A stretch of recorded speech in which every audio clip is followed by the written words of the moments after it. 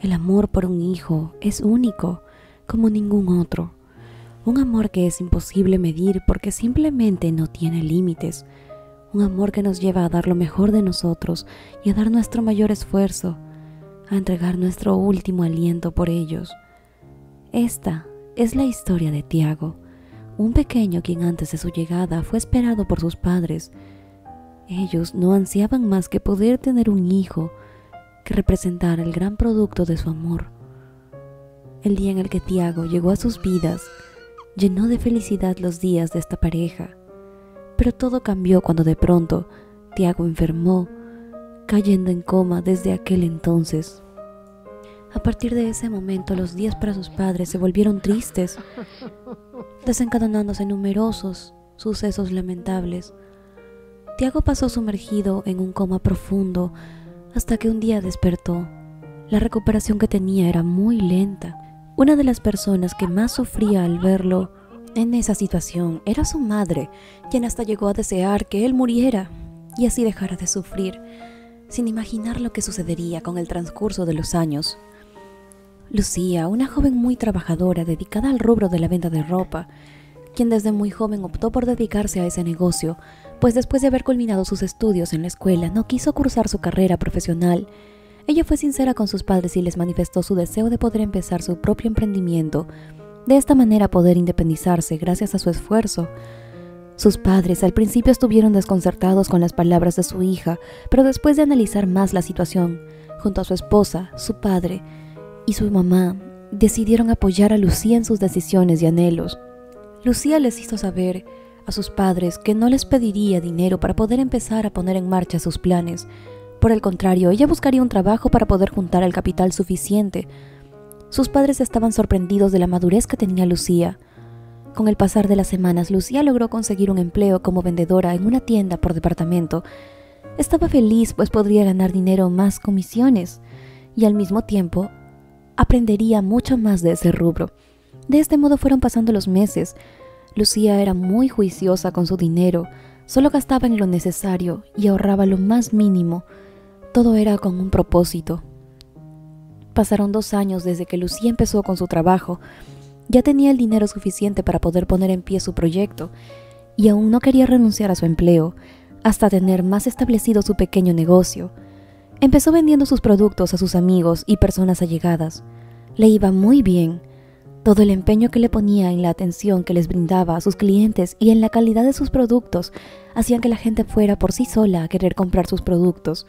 Todo esto gracias a los buenos comentarios que se iban difundiendo. Llegó a un punto en el que el negocio de Lucía iba tan bien que había llegado la hora de poner su propio local, y eso implicaría dedicarle su tiempo completo Llegó el momento en el que debía renunciar a su empleo. Sus padres estaban felices por ver los avances de su hija. Estaban orgullosos de que luchara por cumplir sus metas. Lucía, ya establecida con su negocio, un día conoció a un joven que llegó a comprar algunos productos. Este joven era muy apuesto y al parecer había quedado encantado con ella.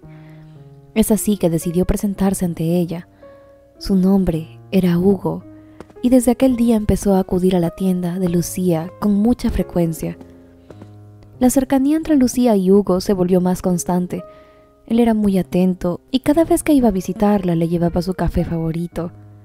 Lucía estaba feliz de haber conocido a Hugo y sobre todo de que él se hubiera convertido en un gran amigo suyo. Los meses continuaron transcurriendo y a Lucía le iba muy bien. Sus ganancias habían mejorado considerablemente ella había logrado recuperar todo lo invertido, y de pronto Hugo la invitó a cenar para celebrar su crecimiento, y ella aceptó gustosa. Durante la cena conversaron mucho de sus vidas, pero Lucía no se imaginó que Hugo le fuera a hacer una confesión. Hugo le confesó que estaba profundamente enamorado de ella y que durante todo ese tiempo que iba tratándola se dio cuenta de la gran mujer que era ella y se dio cuenta de que quisiera que ella le brindara la oportunidad de poder ser su novia. Lucía tenía bonitos sentimientos hacia Hugo, pero no estaba segura de si solo era amistad o tal vez era amor, por lo cual decidió arriesgarse y aceptar la propuesta de Hugo. Ya eran entonces oficialmente novios. A medida que los meses fueron transcurriendo, Lucía corroboraba que realmente sentía amor hacia Hugo. Ambos pasaron los meses más felices de sus vidas, juntos. Transcurrieron casi dos años desde que se volvieron novios y estaban seguros de dar el siguiente paso. Ambos querían contraer matrimonio. Planificaron hacerlo dentro de tres meses. Sus padres al enterarse de la noticia estaban muy felices. Llegó el gran día. Ambos se unieron en una boda muy linda, acompañados de las personas más allegadas a ellos, de sus seres más queridos. Aquel día fue inolvidable. A Lucía y Hugo les iba muy bien en el lado económico y laboral. Sentían que habían afianzado muchas bases como esposos y pareja. Ya llevaban medio año de matrimonio, pero deseaban convertirse en padres. Querían tener un hijo que fuera producto de su gran amor. Durante los siguientes días, Lucía acudió al doctor para que le hiciera una revisión exhaustiva y corroborara que todo andaba bien, pues quería quedar embarazada.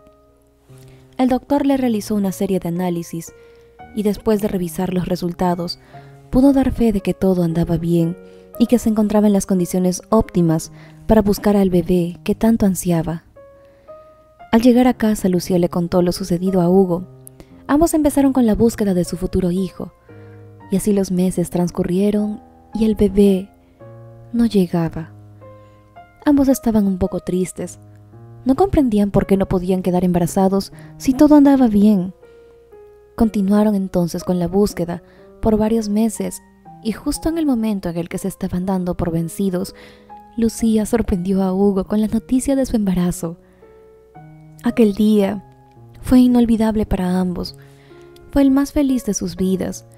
Esperaban con ansias la llegada de su hermoso bebé. Querían por fin poder conocerlo y arrullarlo. Y de ese modo llegó a la vida, luego de algunos meses, su bebé, que fue un varoncito, a quien decidieron ponerle de nombre Tiago. No podían contener su felicidad, sentían que eran muy afortunados. El pequeño Tiago fue creciendo, se desarrolló con normalidad. Sus padres estaban muy dichosos de tenerlo junto a él, al igual que sus abuelos, quienes lo amaban profundamente. Tiago ya estaba en la escuela. Sus padres estaban muy orgullosos y felices, pero no imaginaban lo que el destino les tenía preparado. Durante una tarde, Tiago empezó a sentirse muy mal. Se sentía débil, sin fuerzas ni ganas de siquiera levantarse de su cama. De pronto su madre se percató de que Tiago estaba ardiendo en fiebre. De inmediato le avisó a su esposo y raudamente salieron camino al hospital para que atendieran al niño. Al llegar al hospital, los doctores controlaron la temperatura de Tiago.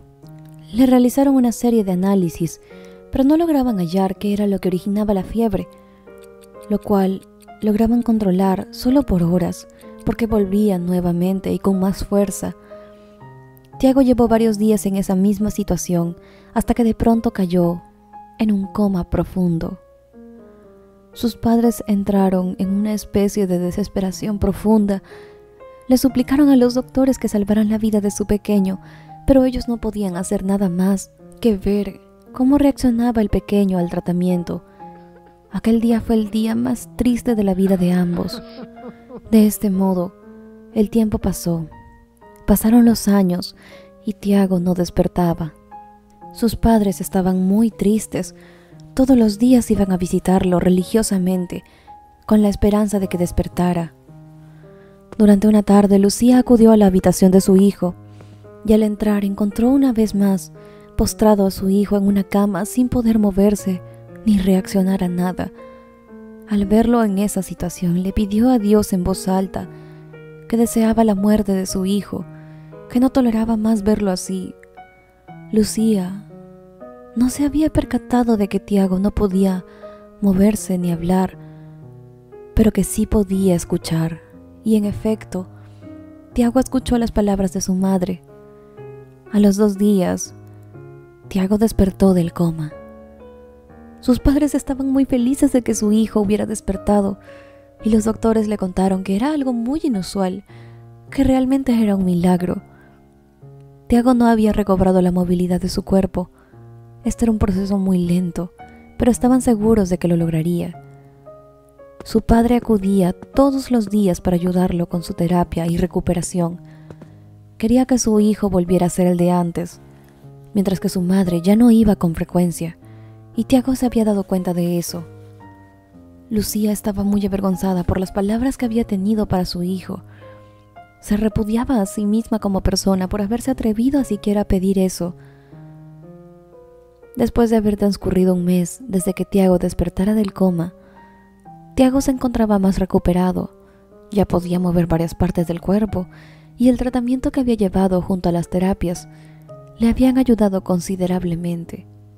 Hasta que durante una tarde su madre se acercó a la habitación y estando junto a él le pidió perdón, pues durante un momento ella deseó que él hubiera muerto, porque no soportaba verlo en esa situación. Tiago le confesó a su madre que la había escuchado perfectamente y que cree que fue ese el impulso que lo llevó a salir del coma.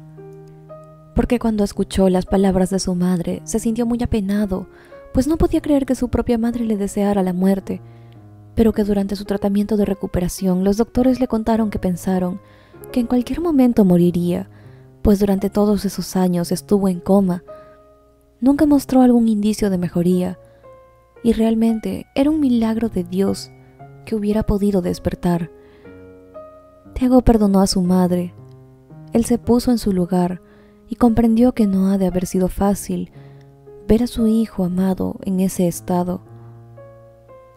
Ambos se dieron un enorme abrazo y al día de hoy, Tiago ya se encuentra recuperado y gracias a la ayuda de sus padres ha podido retomar sus actividades y lleva una vida con normalidad. El amor de una madre es incomparable. Nunca sabremos el gran amor que ellas pueden llegar a sentir por sus hijos hasta el día en el que nos convertiremos en padres o madres. No nos toca a nosotros, como hijos, juzgar sus actos, porque es la propia vida la que nos profundiza esas heridas y nos cobra el dolor que les hayamos causado. Gracias por acompañarnos en esta nueva historia. Esperamos que les haya gustado tanto como a nosotros y de ser así, no olviden regalarnos un like para hacérnoslo saber. Además estaríamos encantados de saber qué les parece esta hermosa historia, así que déjenos sus opiniones en la sección de comentarios. Para más videos como estos, no olvides suscribirte a nuestro canal y nos vemos en el siguiente video por este tu canal de siempre, Sentimientos Encontrados.